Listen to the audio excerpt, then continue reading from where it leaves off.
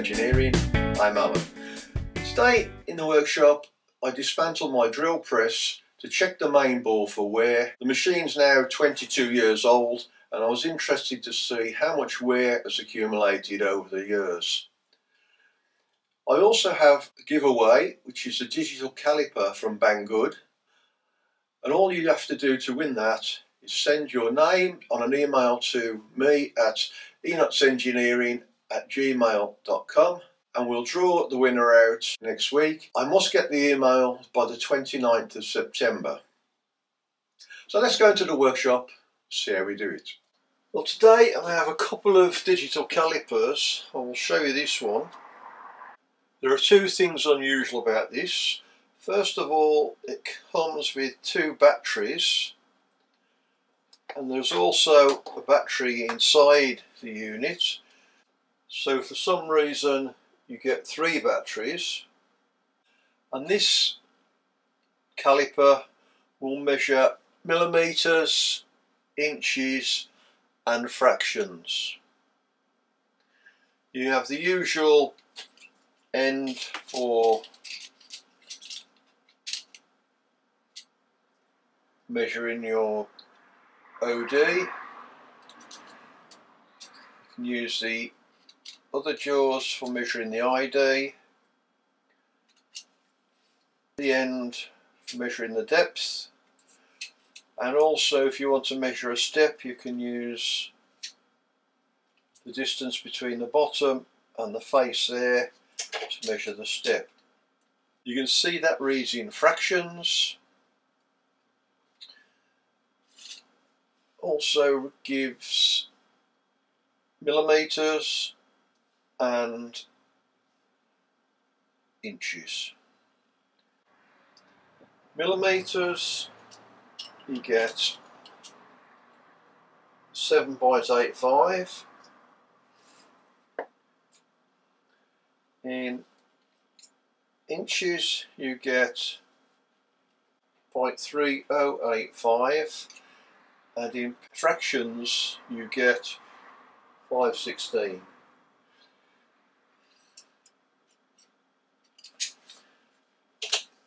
It will measure up to 150 mil or 6 inches, comes in the case.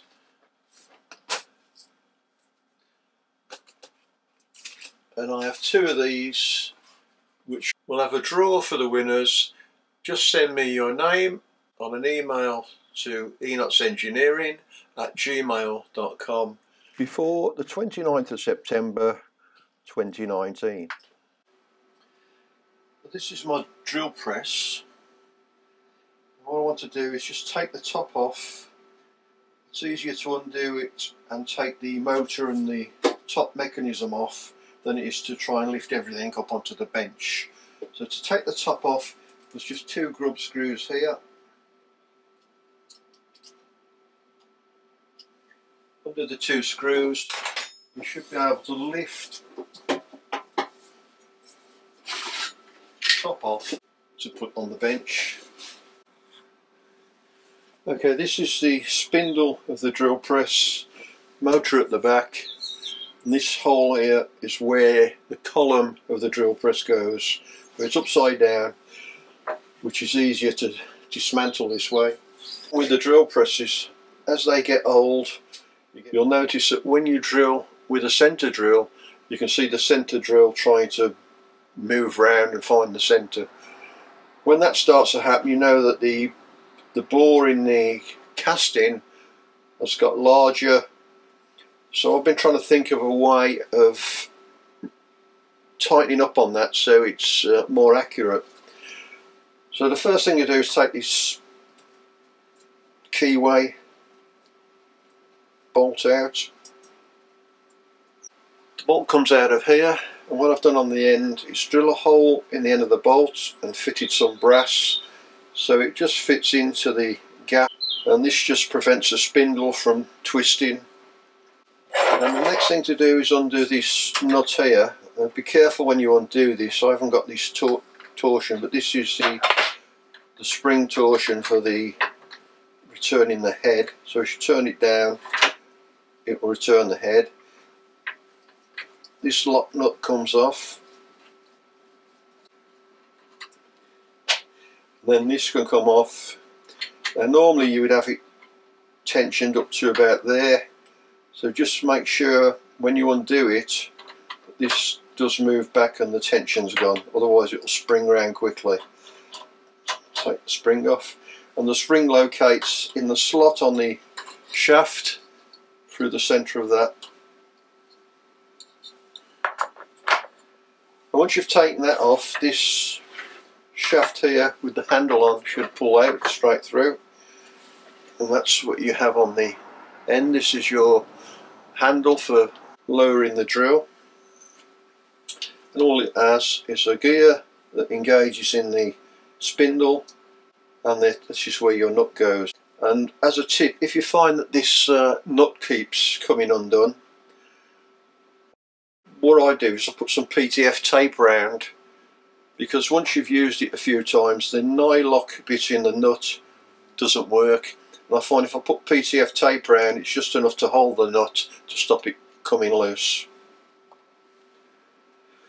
So once you've removed the handle this spindle should just come out. Now if you're doing this with the drill press mounted on the stand. This will just fall out when you remove the handle so be careful on that. Hold this in when you remove the handle. You can see what you have on this. Is a bearing on the end. The quill inside with a this one's a number two Morse taper you can line up the holes in the side to put your drift through. And on the other end is another bearing. And this has got a circlip on that just stops the spline shaft pushing down through the bearings. So there's nothing there that guides except this hole on the casting and that just rubs up against this steel outer case. So the only way you can try and stop this moving in the casting is tightening this screw up which grips and pushes the the quill over onto the casting. Now what I was thinking of doing drilling some holes in the side for grub screws and then in the end of a grub screw put a bronze uh, cap so you can push the spindle so what happens with time this bore in here which is about on this one it's about 40 mil starts to get elongated and wear. And the more that this wears the more your spindle will drift. You could bore this out and put a bronze bush in but you need to do it in the middle of this as well. There's another bore just about three inches down from the top. So you'd need to do both bores and bush both bores which is quite difficult because you, you can't get at it from the other side so I'll measure the bore size, see how oval it is.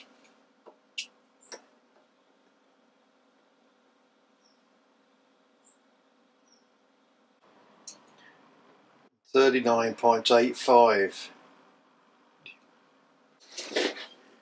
Thirty-nine point nine. So that's 0.05 difference which is 2 thou. So that's not worn that much on this. So 2 thou ovality after 20 years, too bad. Now the way the spring works is around the outside of the holder there are cutouts and they register on this. So as you tighten the nut up on there, the inner part of the spring goes through the shaft, down the centre of the shaft and as you turn the outside from one cutout to the next it puts more tension on as you go round.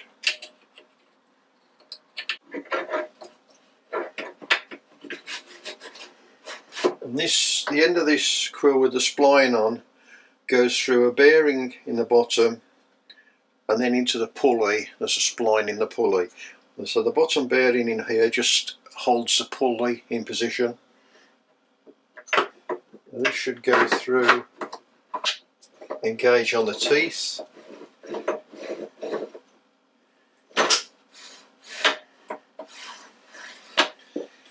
Middle of the spring goes through the shaft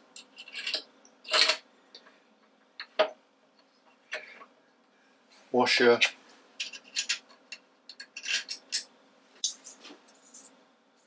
PTF tape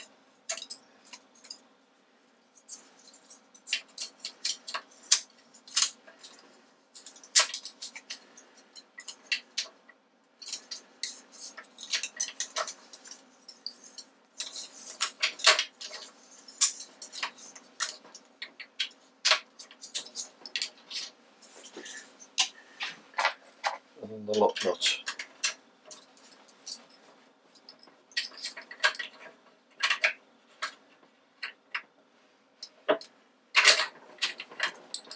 if I hold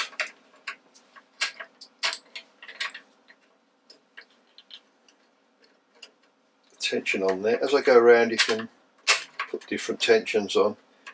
So if I hold it about there, tighten the down.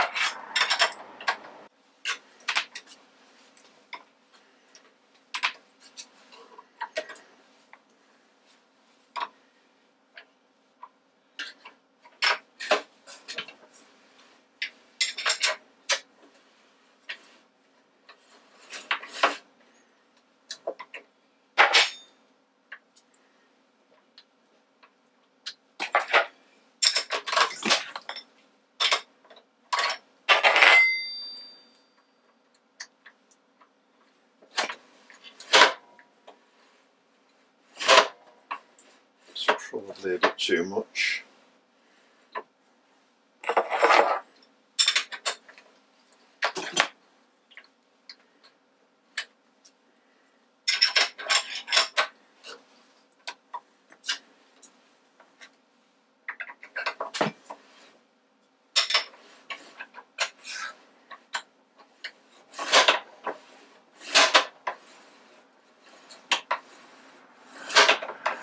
It's probably okay. If you tighten this up, all you're doing is squashing the, the cover. It doesn't need to be tight, it just needs to be free so the spring will return it. So what happens is as the bore in this end wears, this starts to float and it makes it difficult. You can see that when you're drilling a hole you'll see the drill actually moving round trying to get into the centre of the hole because there's play. So make sure you oil the spindle because that's the only lubrication that will get into this, this bore and your machine should last a lot longer. Now I've turned it round the right way and you can open the top here to show you. Here you can see the spline coming through from the end of the quill. That just goes through the centre of this pulley. And there's another intermediate pulley here. And right at the end on the motor is another pulley. So this drill press has 16 speeds the speed range will go from 195 RPM up to 3,500 RPM depending on which set of pulleys you're using from the motor to the intermediate pulley and from the intermediate pulley to the spindle pulley.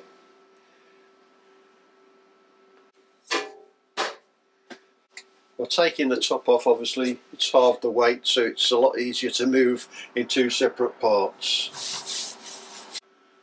In the centre of the handle here this is just a magnet and I use that to put my chuck key there.